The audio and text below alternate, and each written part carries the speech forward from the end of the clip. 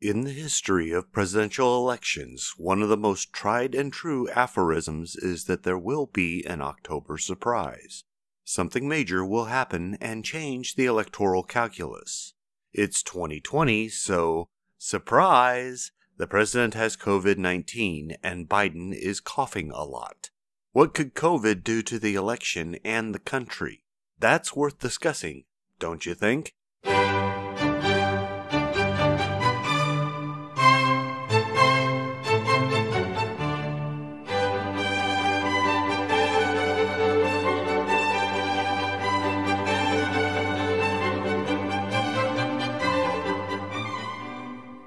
Personally, I hope and pray that COVID ends soon with no more fatalities.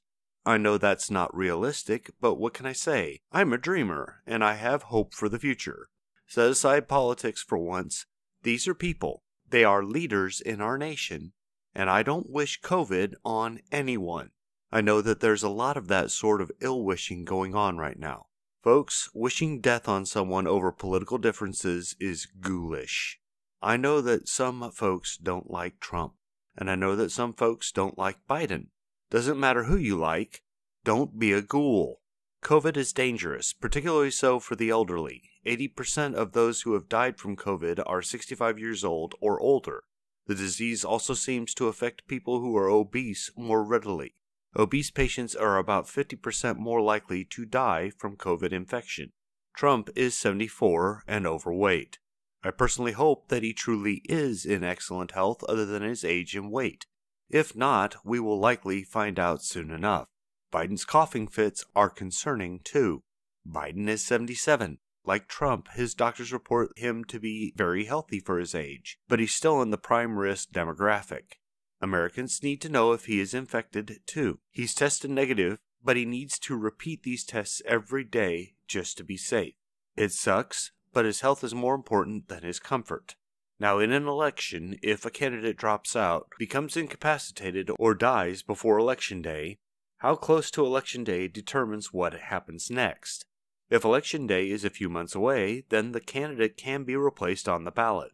Come October, though, the ballots have already been printed, voting has already started with absentee voters. That's why an October surprise is so significant. It's too late to change the ticket.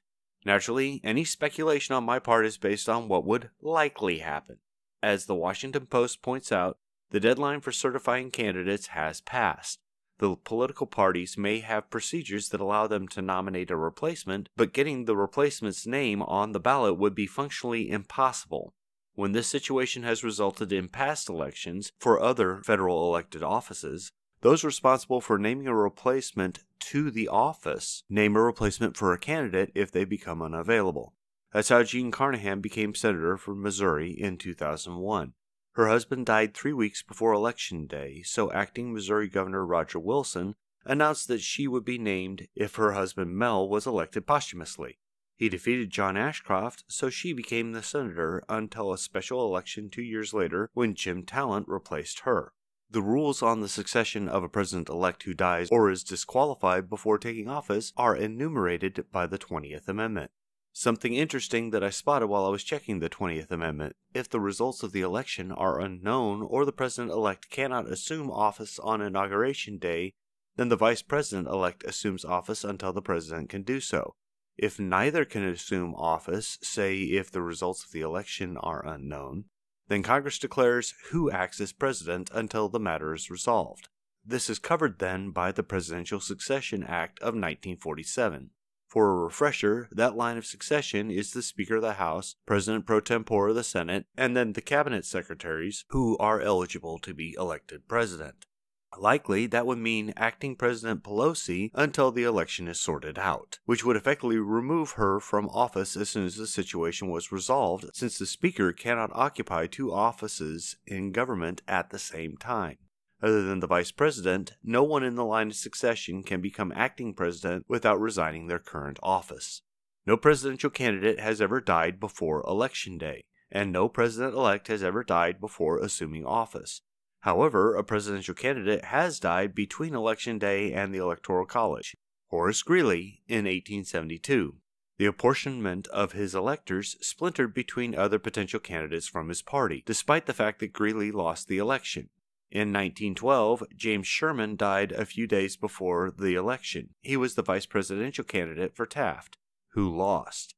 The RNC chose not to nominate a replacement due to the results, so the electors that Taft had won met and selected Nicholas Butler to replace Sherman on the ticket as a pure formality. If Trump is gone before the election, Pence becomes the president immediately. He then has less than a month to convince the American people that he's a better choice than Biden.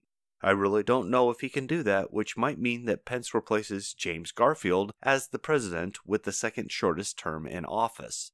As long as we're talking about what happens, we need to mention what happens for the challenger. If Biden is gone before the election, things are less apparent. There is no law governing who replaces the challenger on the presidential ticket. I would assume that Harris becomes the presidential nominee due to the challenge of getting names on ballots. She then has less than a month to convince the American public that she's a better choice than Trump. Again, I really don't know if she can do that, although I wouldn't be surprised if her campaign blamed Trump for Biden's death, given Trump's reluctance to wear a mask in public, something which might play well with her voters. If both are gone, then it's most likely President Pence versus Senator Harris. That makes me even keener to watch the VP debate on Tuesday. It might prove to be the best look at the two candidates who could wind up running for the Oval Office in 2020. Pence is an old school Christian conservative, and Harris is a West Coast liberal. He will play well in rural America and in working class areas. She will play well in cities and with women and minorities. The battleground will be in the suburbs, as he tries to convince voters that her most radical ideas are dangerous for America, and she tries to convince voters that he is just another reactionary trying to overturn Obamacare and Roe v. Wade. Americans are firmly divided over who should be elected president. This news will upend both campaigns. Naturally, anyone who tests positive will be quarantined. So far, there have been at least 11 people who have tested positive. This will put a big dent in the GOP campaign schedule, including the second presidential debate, which is scheduled for October 13th, before Trump comes out of quarantine. Will Biden match the president in reduced campaigning? I don't know, but it has been suggested. That's entirely up to Biden and his campaign staff, though.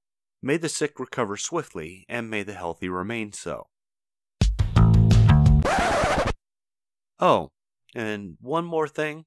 The House passed a $2.2 trillion stimulus bill this week. This is a trimmed down version of the HEROES Act. The White House is panning it. The GOP leaders in the Senate say that it has no chance of passing there. And the House is adjourned for their October recess and won't be back until mid November, so they can't reconsider it. I'm going on record right now. Senators, pass the damn bill immediately and as is. This stimulus is desperately needed by many Americans right now, including the tens of millions of Americans who lost their jobs, lost their gig work, or can't enter the labor market thanks to COVID. Blocking this bill doesn't look like fiscal responsibility, it looks like petty gamesmanship and a lack of compassion. I'm specifically calling on my senators, John Boozman and Tom Cotton, to demand that they vote to pass the House bill. It may not be the best bill for America fiscally, but it is the right thing to do at this critical juncture. We've had enough congressional inaction due to election stunts in the middle of a crisis. Don't blame the House either. You argued over this bill for months while millions of Americans told you that they needed help. You kept arguing when President Trump told you to send him a stimulus bill and promised to sign it. You even kept arguing after the president issued executive orders to do by fiat some of what you were supposed to legislate in this bill and put his team in charge of negotiating with the Speaker of the House instead of your team. America is fed up with the bickering and the stalemates.